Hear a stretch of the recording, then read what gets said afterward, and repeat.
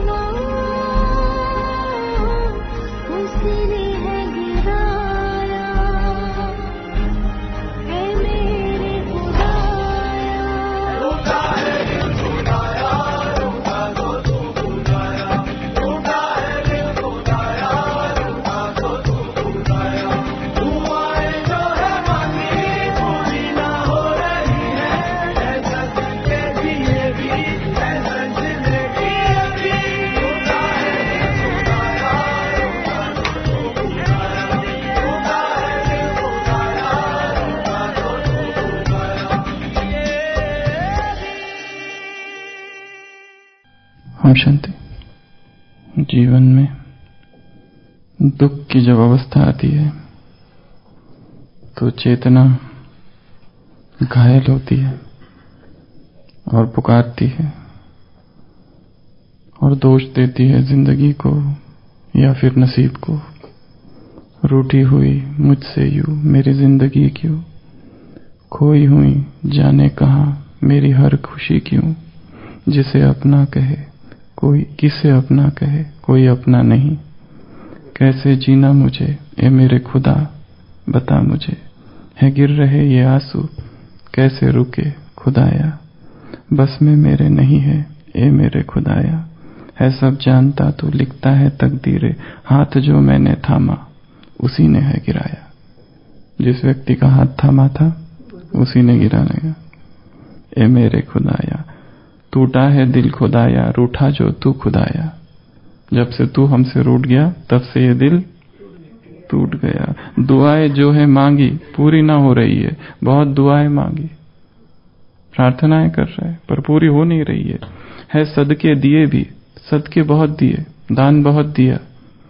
सजदे किए भी, सजदे, तेरे सामने सजदे किए और सदके दिए। परंतु टूटा है दिल खुदाया। लिपटा है किस तरह मुझे? मेरा गम भी अजीब है। कांटों से भरे रास्ते मेरा नसीब है। मेरे खाली हाथ से हो, भी हो गई दुआ खफा। क्यों मन्नतों को है गिले? ए मेरे खुदा, बता तू, है गिर रहे हैं आँसू। आत्मा दुखी हो गई है, उदास हो गई है, टूट गई है। ऐसी भी अवस्था। ब्राह्मण आत्माओं की भी आ जाती है कभी कभी जबकि उदास हो जाती है। व्यक्तित्व पर्सनैलिटी के बहुत सारे प्रकार है। और एक प्रकार है पर्सनैलिटी का 1990s में इलेन एरन और उसका पति आर्थर एरन इन दोनों ने मिलकर एक नए प्रकार के व्यक्तित्व का नाम दिया था। और उसको नाम दिया था H S P highly sensitive person highly sensitive person अर्थात बहुत सेंसिटिव है, जिसको बाबा ने कल की साकार वाणी में कहा था छुई मुई लाजवंती का पौधा जो होता है छुई मुई छुई मुई अवस्था। बाबा ने एक दूसरे अर्थ से कल प्रयोग किया था। कि माया याद नहीं करते, फिर भूल जाते हैं और फिर रूटते हैं। बाप उनको कहते हैं, वो जैसे कि, क्या है? छुई मुई है। छुई मुई की अवस्था है वो। तो इस ब्राह्मण जीवन में भी ऐसी छुई मुई देवी या फीलिंग देवी या मलिकाए जज्बात बहुत आते हैं। तो आज हम इसी टॉपिक पर चर्चा करेंगे। मलिकाए मलिका ए, जज्बात। जज्बात। Hindi queen of emotions highly emotional personality बहुत ज़्यादा संवेदनशील आत्माएँ। इन आत्माओं की एक विशेष कैटेगरी ऐसा कहा जाता है, संसार में 20 से 15 से 20 परसेंट लोग एचएसपी की कैटेगरी में आते हैं। हाईली सेंसिटिव पर्सन जिसको बाबा कहते छुई मुई जिसको बाबा कहते हैं फीलिंग देवी, और जिसको कहा जाता है मलिकाए जज्बात।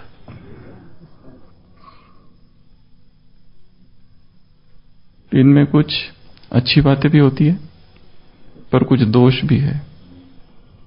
अच्छी बातें भी बहुत सारी है। दोष भी है। और ये सारा निर्भर करता है प्रतिक्रिया पर। जैसे एक राजा है, उसके सामने चार अपराधी पेश किए गए। ये कहानी हमने बचपन में सुनी थी, जब हम स्कूल में थे। तब ये एक चैप्टर में थी हिंदी बुक की। तो एक राजा, जिसमें, जिसके सामने चार अपराधी पेश होते हैं चारों का एक ही अपराध है चोरी। पर ये जो राजा है, बहुत पारखी है, बहुत बुद्धिमान है। देखते ही व्यक्तित्व को समझ लेता है क्या है। तो पहला चोर आता है। राजा कहता है, उस चोर से तुमने अच्छा नहीं किया। बस। दूसरा चोर पेश किया जाता है। राजा कहता है, उससे डांटता है और कहता है, इसको थोड़ा सा और अपशब्द गालियाँ देकर यहाँ से निकाल दो। तीसरा चोर आता है। और उस तीसरे चोर को राजा कहता है, इसको चार कोड़े लगाए जाए, सजा के तौर पर।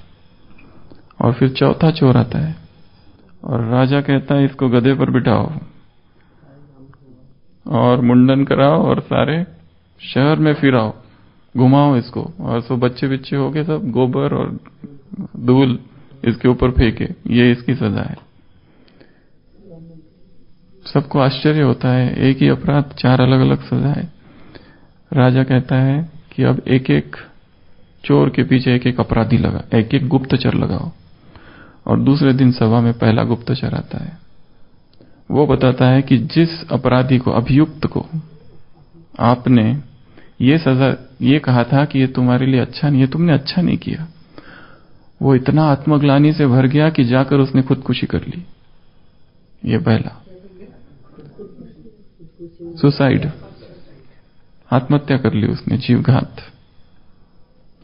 दूसरा गुप्तचर बताता है कि जिसको आपने बहुत डांटा, भला बुरा कहा, गालियाँ दी, अपशब्द बोले, वो इतना आत्मग्लानी से भर गया कि वो शहर छोड़कर चला गया। अब मैं यहाँ नहीं रह सकता।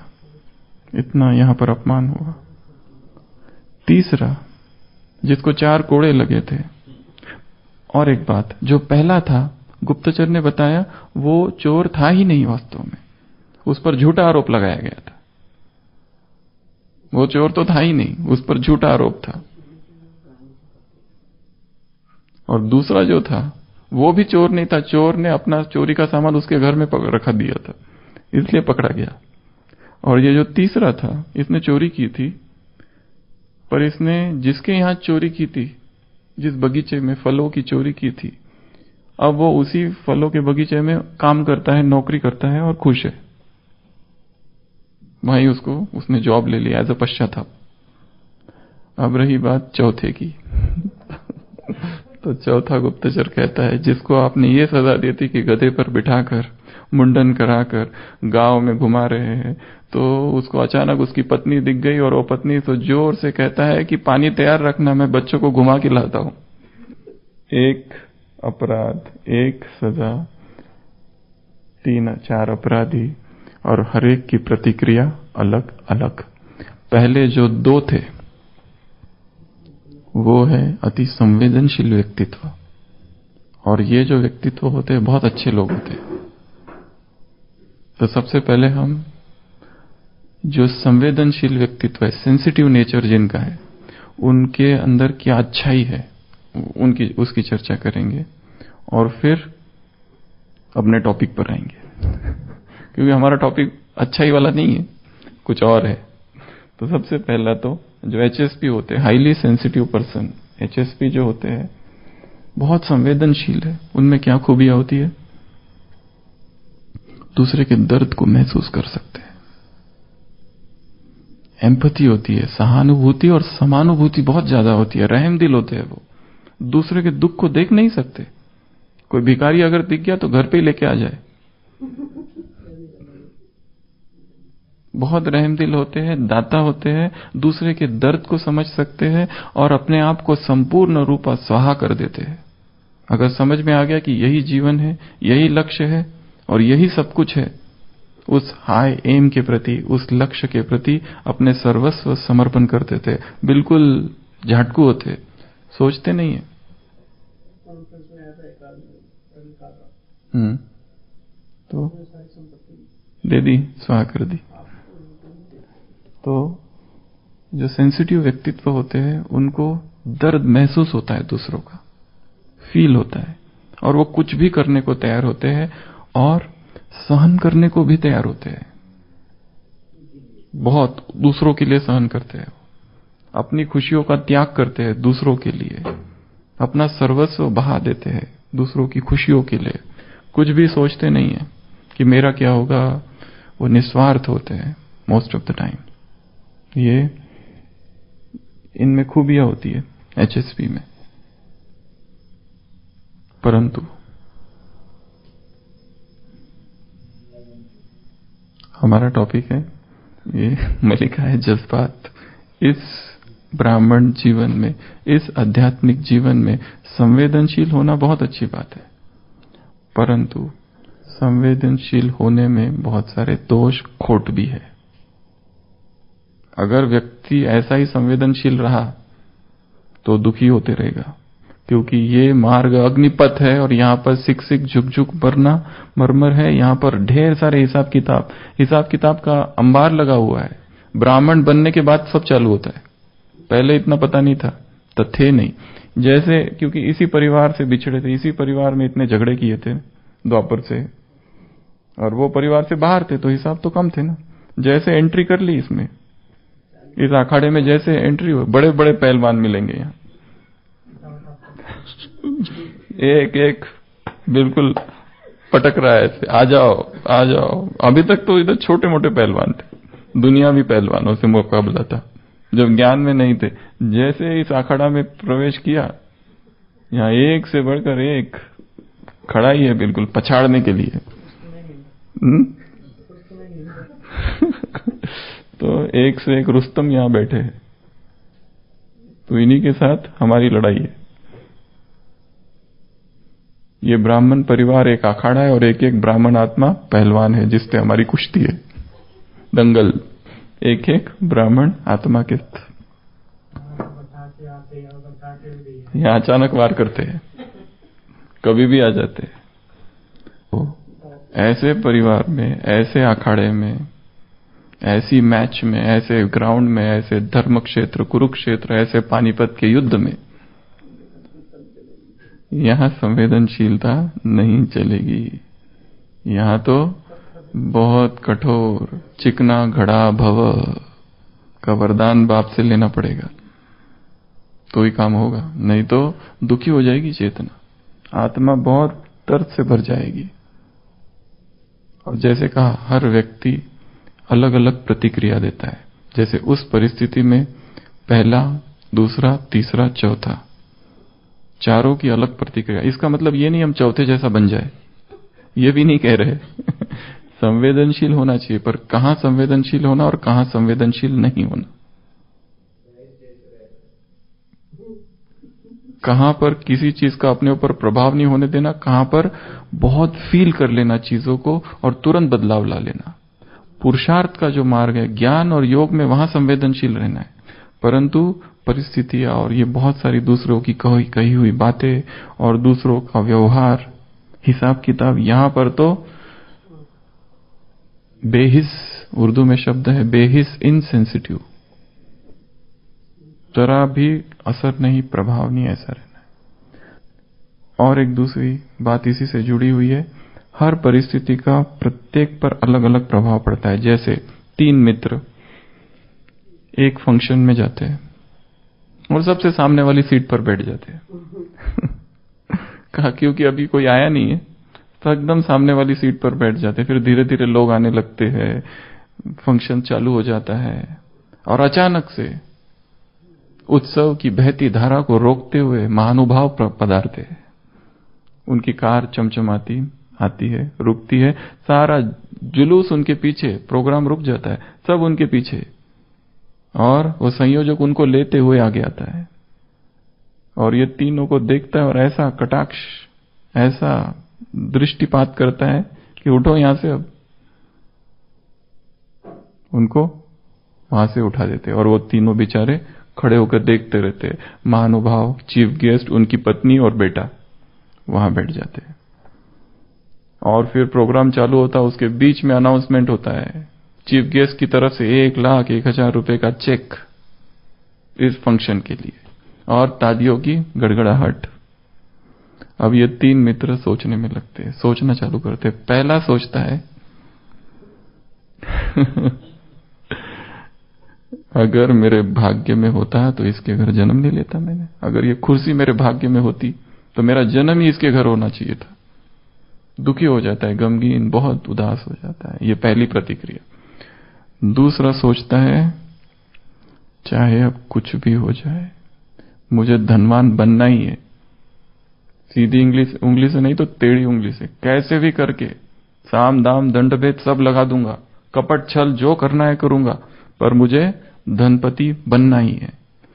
तीसरा सोचता है, ये समाज धन से नापा जाता है, ऐसे समाज के विरुद्ध मैं विद्रोह करूँगा, और वो विद्रोही बन जाता है।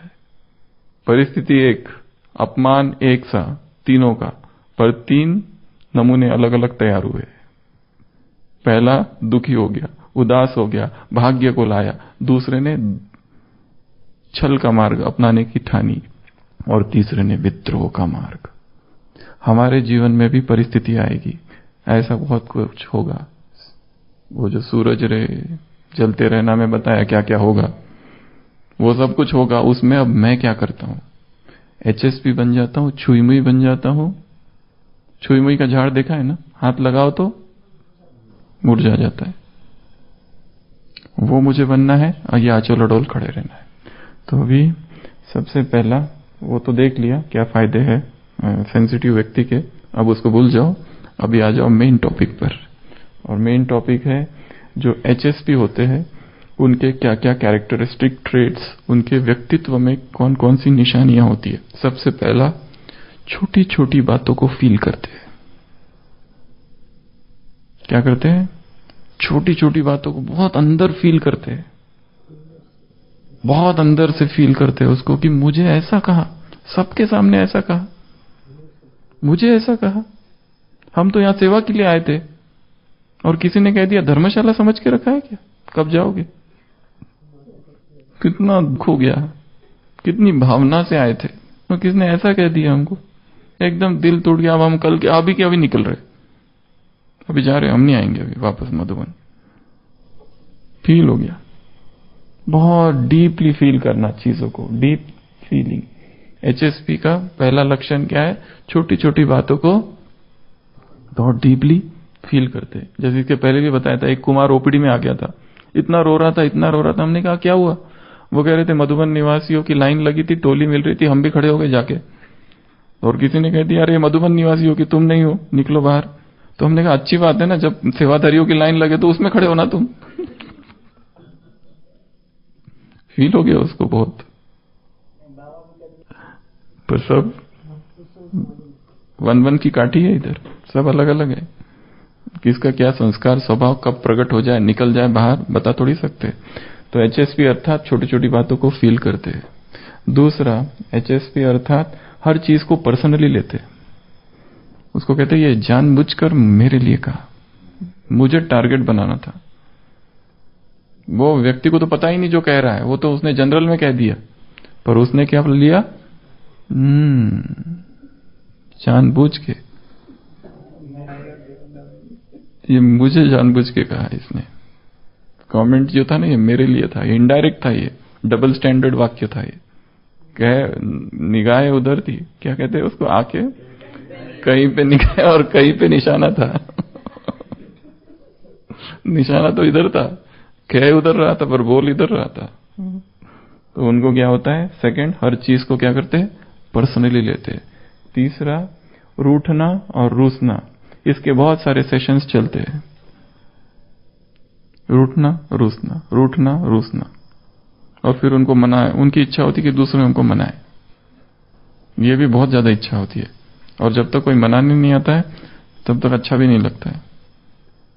तो रूठना, रूसना, मनाना, ये तीनों के मल्टीपल सेशंस जीवन में चालू रहते हैं। चाहे व्हाट्सएप पर, चाहे मैसेजेस के द्वारा, चाहे कॉल के द्वारा, चाहे बात करने, चालू रहता है। इसके तीन कैटेगरीज है वास्तव में एचएसपी के। पहला सेंसिटिविटी अपने प्रति, एक दूसरों के प्रति और तीसरा वायुमंडल के प्रति। ऐसी तीन कैटेगरी है एचएसपी की। तो हर चीज़ को क्या करते हो? डीपली फील करते हैं पर्सनली ले लेते हैं, उसके बाद में रूठना, रूसना, मनाना, ये सब चालू रहता है। उसके बाद में रोना। बात बात में क्या होता है? आँसू आ जाते हैं। है गिर रहे हैं आँसू। कैसे रोके खुदाया? है सब जानता तो फिर बाबा को बीच में लाते। तू सब जानते हो ऐसा करता है? किसे अपना कहे, कोई अपना नहीं। कैसे जीना मुझे? ए मेरे खुदा, बता तू। है गिर रहे आँसू, कैसे रुके खुदाया? दुआएँ जो है मांगी पूरी ना हो रही है सदके दिए भी। है सदके, सजदे किए भी। फिर भी कुछ नहीं हो रहा है। तो दुख की अवस्था में प्रवेश करती है आत्मा एचएसपी में। हर चीज़ को फील करते करते, हर चीज़ में दुखी होते होते, हर चीज़ में रोती रहती है। बात बात पे रोना आता है। उसके बाद में जो इस तरह की आत्मा होती है, उनको बहुत टेंशन महसूस होता है छोटी छोटी बात का। अगर कोई सेवा दे दी तो एकदम स्ट्रेस आ जाता है उसका। टेंशन आ जाता है। एंग्जाइटी होती है बहुत। बहुत बेचैनी होती है चीज़ों के बारे में। क्योंकि बहुत ज़्यादा सेंसिटिव उनको बहुत अपनी परवाह होती है। मतलब वो ये नहीं चाहते कि मेरा इंप्रेशन खराब हो जाए सबके सामने। बहुत ज़्यादा एंग्जाइटी उसके बाद में ऐसी आत्माओं में अहंकार और अभिमान अभिमान और अपमान दोनों भी बहुत ज़्यादा महसूस होता है। किसी ने अपमान किया नहीं है, पर अपमान महसूस होता है। इंसल्ट लगता है, लगती है। अब किसी का उद्देश्य नहीं था तुमको इंसल्ट करने का, पर उसको ऐसा लगता है कि इसने मेरी इंसल्ट की। बेचारे सामने वाले को पता भी नहीं, पर उसको लगता है इसने मेरे इंसल्ट करने के लिए जानबूझ के ऐसा किया। और उनको ऐसा फीलिंग होती है कि सब मेरे विरुद्ध क्या कर रहे हैं? षड्यंत्र। अगर दो लोग बात कर रहे हैं और मैं पहुँच जाऊँ और दोनों ने बात करना बंद कर दिया हम्म तो पक्का हो गया। मेरे ही बारे में बात कर रहे थे। तो उन लोगों ने बात बदल दी। फील कर लेते बिल्कुल। जिस ब्राह्मण जीवन में ये सब होते रहता है, और इसलिए तो आत्मा दुखी हो जाती है। दुखी हो जाती है, बहुत दुखी हो जाती है, इतनी दुख, उदास हो जाती है, दुख में डूब जाती है एकदम से। फिर जब दुख में व्यक्ति होता है तो ज्ञान संबंधी नहीं है। योग कोई लेना देना ही नहीं है योग से। परिवार क्लासेस सब सब सब व्यर्थ हो जाता है। एक सेकंड में व्यर्थ। कुछ भी अच्छा नहीं लगता है यहाँ का। और फिर क्या करती है? बहुत ज़्यादा सोना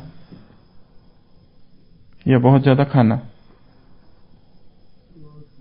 क्या करेंगे जो अंदर खालीपन आ गया? उसको कैसे भरेंगे अब? सबसे आसान तरीका है भोजन, जो सामने दिख रहा है।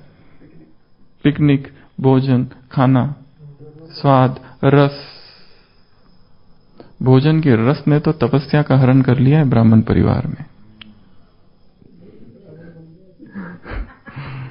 भोजन के रस ने तपस्या का अपहरण किया है। Test has kidnapped the penance क्या करेगी आत्मा? अंदर से खालीपन इतना है। अब बाहर से भरना तो है। किससे भरेगी? या तो भोजन से भरेगी, या घूमने फिरने से भरेगी, फ़ैशन से भरेगी, या सेवा से भरेगी। क्योंकि तपस्या से तो भर नहीं सकती। क्योंकि इस अवस्था में तपस्या कहाँ होती है? तपस्या का तो सवाल ही नहीं है यहाँ। खालीपन आ जाता है।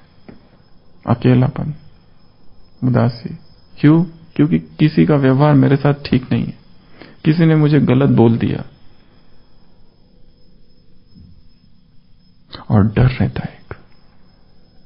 एचएसपी अर्थात भयभीत हो रहता है हमेशा। किस बात का भय ये दूसरे मेरे से आगे ना चले जाए। इनको ज़्यादा मान मिल रहा है, मुझे कम मान मिल रहा है, मुझे कम महत्व दिया जा रहा है, मेरी कम खातरी हो रही है, इनकी ज़्यादा खातरी हो रही है। मैं क्या करूँ अब इनके, इनसे आगे जाने के लिए? ईर्षा भी होती है, बेचैनी होती है अजीब सी, भयभीत रहती है। आगे मेरा क्या होगा? बहुत सेंसिटिव होती है। और दूसरों की कोई खराब न्यूज़ सुनी? जैसे किसी कुमार ने सुन लिया, एक दूसरा कुमार चालीस साल ज्ञान में था, अब ज्ञान छोड़ दिया। एकदम से अंदर हलचल होने लगती है। बहुत भयंकर हलचल होती है। अरे, मेरा भी ऐसा हो जाए तो। कुमार बहुत अल्पायु होते हैं। कुमारियाँ लंबा चल जाती है ज्ञान में। कुमारियाँ लंबा चलती है, क्योंकि सेंटर पर चली जाती है तो लंबा चलती है। कुमार 40 साल को क्रॉस करने वाले जो है, वो महारथी समझ लो उनको। जो भी 40 साल जिन्होंने क्रॉस कर लिया और अभी भी कुमार है, वो बहुत बड़े योगी है। क्योंकि यहाँ तक पहुँचते नहीं है। कुछ ना कुछ हो जाता है यहाँ पर गड़बड़। तो ये भी एक सेंसिटिव नेचर है। इसमें भी व्यक्ति हिल जाता है, डर जाता है। और क्रोध। एंगर भी आता है। और क्या करते ब्लेम गेम करते हैं फिर। दूसरों को दोष करते या तो सेल्फ विक्टिमाइजेशन करते अपने आप को दोषी ठहराते समझते ये सब जो है, ये सब मिल के मुझे टॉर्चर करने वाले ये सब मिल के मुझे बहुत सताने वाले लोग हैं। ये कोई सादे लोग नहीं है। तानाशाह है एक यहाँ पर। इन सबने मुझे सताया है। इन सबने मेरे साथ बुरा किया है। इन सबने प्लॉट किया है स्कीम की है मेरे विरुद्ध। ये विचार आते रहते हैं। दोनों दोनों चीज़ें होती है। एक तो ब्लेम भी करते हैं और साथ में खुद को भी विक्टिमाइज करते हैं कि मुझे विक्टिम बनाया गया ये एचएसपी छुई मुई फीलिंग एक तो ये हो गया खुद के बारे में।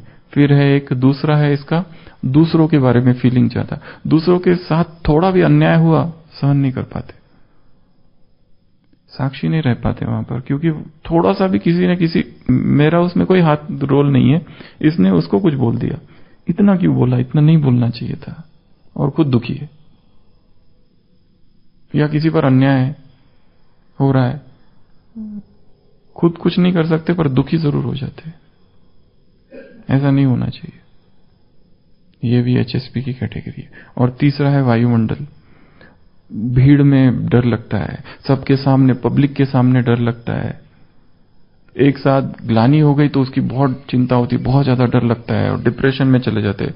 सबने मिलके एक साथ कुछ विरोध कर दिया। उदास। ये सारी कैटेगरी एचएसपी की है।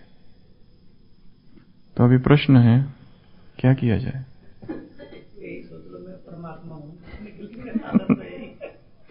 क्या किया जाए?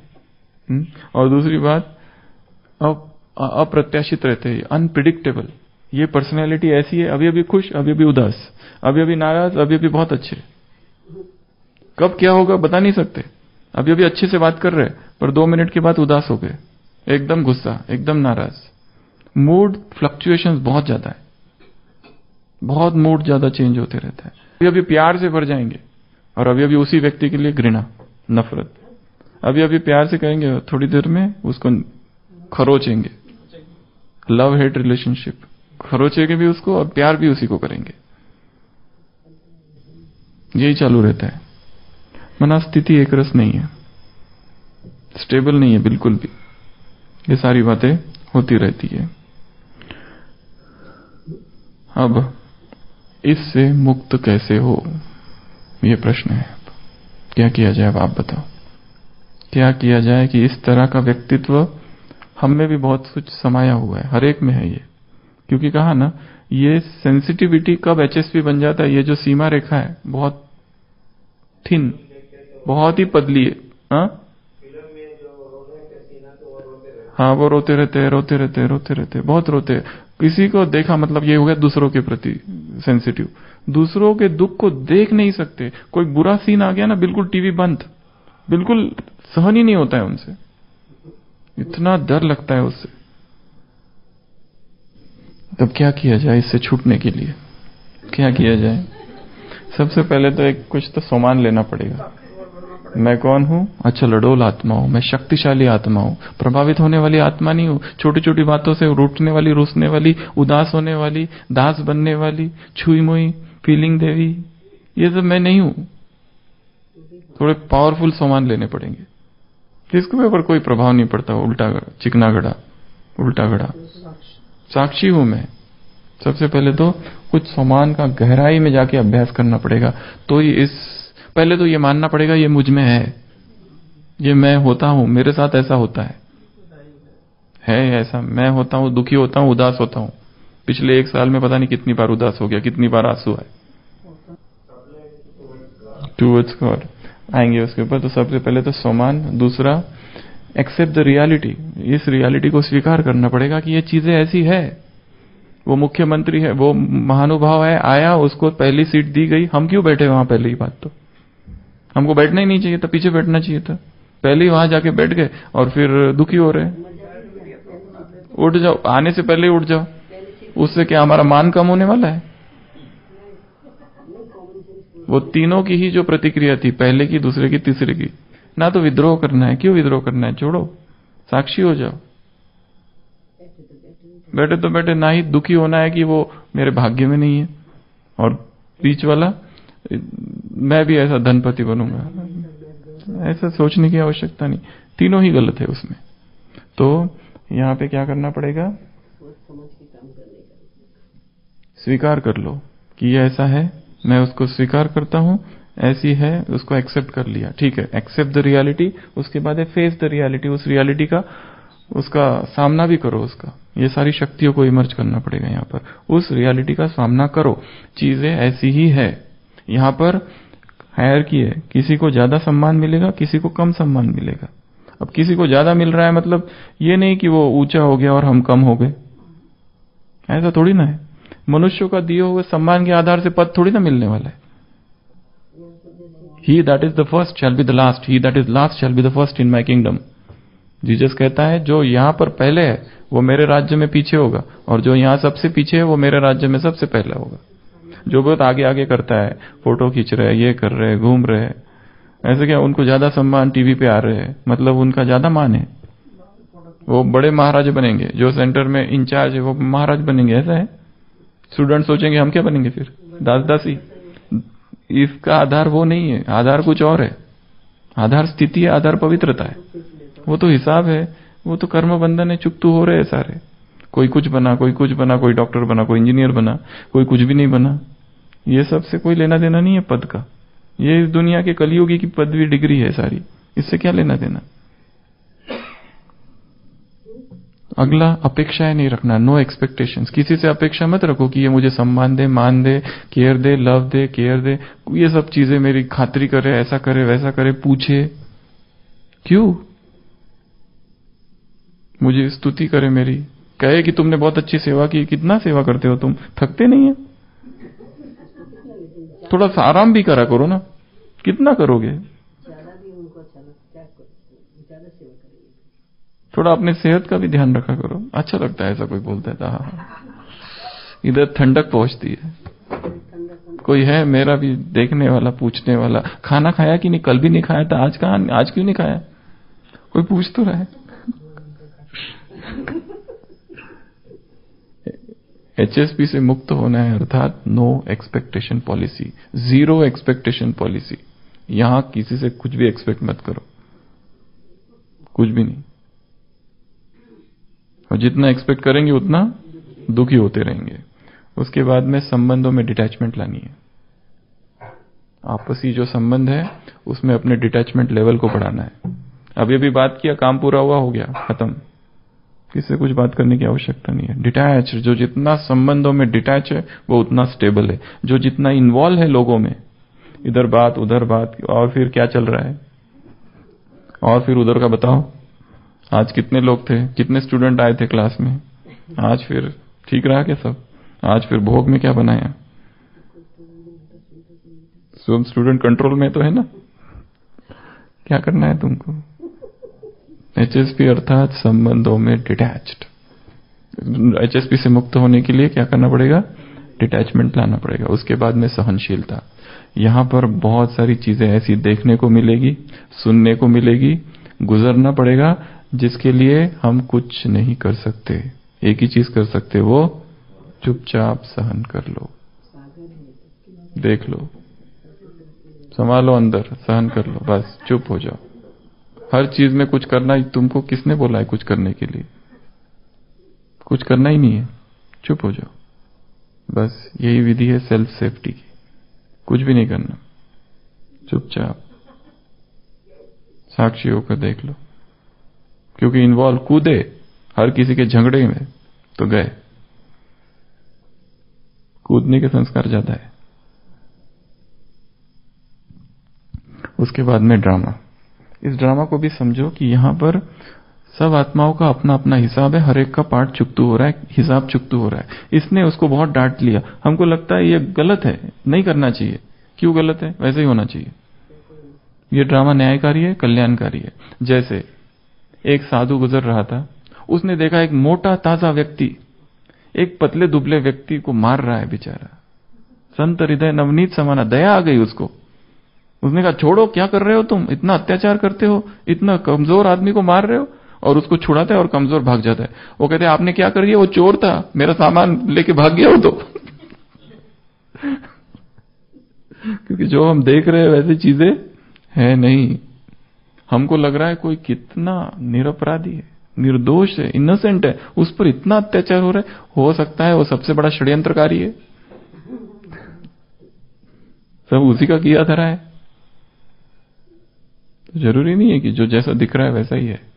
और इस ड्रामा में हर एक के साथ जो हो रहा है, बहुत अच्छा हो रहा है। कुछ ना कुछ उसमें कल्याण छिपा हुआ है, समाया हुआ है। किसी के साथ कोई अन्याय नहीं है। फाइनल ड्रामा के अनुसार देखा जाए तो। नहीं तो भगवान नहीं कूद पड़ा होता बीच में। ये क्या कर रहे हो? रुको। मैं आया हूँ।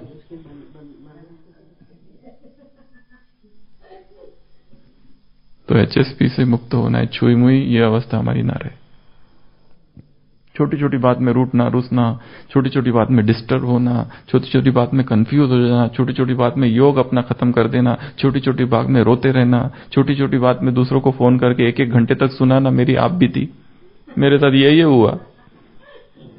कुछ तो बताओ, कुछ करूँ मैं? बताओ, खाली सुनो तो अच्छा लगता है। हर व्यक्ति एक कंधे की तलाश है उसे। रोती हुई आँखों को कंधे की तलाश है, जिस पर रख के रोए। कंधा मिल जाए तो अच्छा लगता है। नो एक्सपेक्टेशंस सहन करना सामना करना एक्सेप्ट करना ड्रा, ड्रा, ड्रामा के राज को पक्का करना सोमान का अभ्यास करना और ये सेंसिटिव संवेदनशील नेचर छुई मुई अवस्था से स्वयं को मुक्त करना है। यहाँ बहुत सहन करना है तीरों तीर ही तीर लगे रहेंगे। बहुत सारे तीर खाना पड़ेगा। भीष्म पितामह ब्रह्मचर्य का व्रत धारण किया है। तो वो तीर तो सब लगेंगे। लगने दो। सहन करो। बहुत सुख है उसमें भी। हिसाब चुकतू हो जाएँगे। और आह्वान करो जिसको जिसको जो जो बोलना है, जल्दी आ जाओ। जो जो ग्लानी करने वाले, अभी तक कहाँ थे? अरे, मुझे वापस जाना है। तुम्हारी ग्लानी रह गई तो मैं जा नहीं पाऊँगा। जल्दी जल्दी आ जाओ ग्लानी वाले। अब ग्लानी वाले कौन है? तुम आ जाओ। कैटेगरी नेक्स्ट अपमान करने वाले कौन कौन बचा है? हाथ खड़ा करो। कर आ जाओ, करो। ऐसे हम हाथ खड़ा करते हैं ना सभा में कौन कौन है जो अभी तक जिसने निंदा नहीं की विरोध नहीं किया कोई रोड़े नहीं डाले मेरे मार्ग में पुरुषार्थ में पैर नहीं खींचा टांग नहीं खींची। ईर्षा वाले कहाँ बचे हैं? वो जो पीछे माता है हाथ खड़ी करो। हाँ आ जाओ। बाबा की बोली बोली माता हो। जो जो है जिसके साथ जो जो हिसाब है फटाफट आओ हिसाब चुकतू करो। हाँ, क्योंकि हमको जाना है। यहाँ हम केवल निमित्त मात्र रुके हुए ये सेवा सब खिलौना है, बाबा ने हाथ में दिया है। नहीं, जाने देंगे। उनको तो अपने हिसाब पूरे करने वैसे भी होने ही वाले हैं तो यहाँ पर छोटी छोटी बातों से डिस्टर्ब नहीं होना है, सहनशीलता धारण करनी है, साहस धारण करना है और अचल अडोल रहना है, बस। कुछ भी हो जाए, रोना नहीं है। कुछ भी हो जाए, कैसा भी हो जाए, कितनी भी परिस्थिति का अपना योग का चार्ट हमेशा आगे रहे। ठीक है? तो हमेशा क्या करना है? खुश रहना है। सदा खुश रहो। मुस्कुराते रहो। और क्या है गीत? मिलन प्यारे प्रभु से मनाते रहो। ऐसी हमारी अवस्था। रोने वाली अवस्था नहीं हो। ये पुराना गीत भूल जाओ। अब नया गीत याद करो। ओम शांति।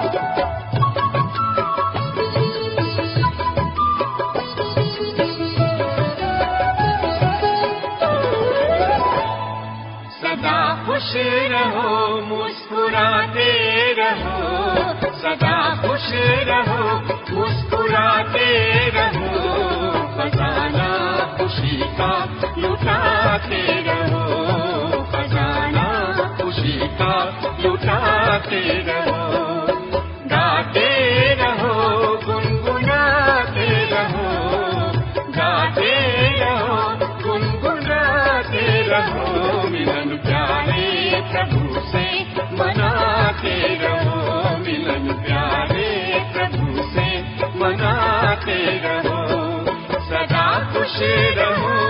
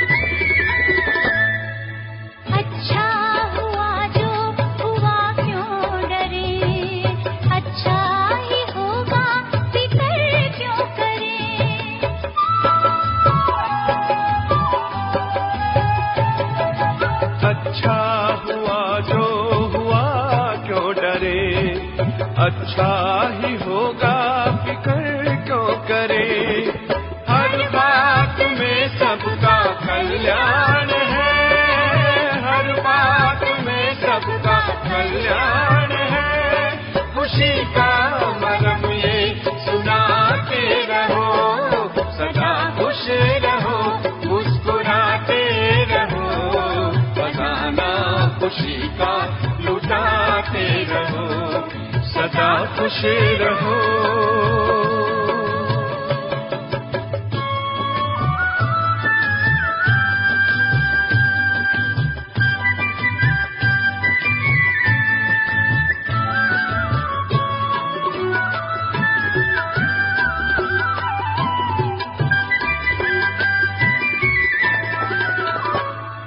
चलो कहा किसने क्या हो गया? खुशी खो गई मानो सब खो गया।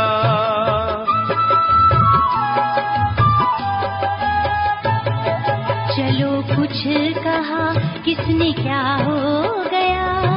खुशी खो गई मानो सब खो गया। खुशी जैसी कोई दवा ही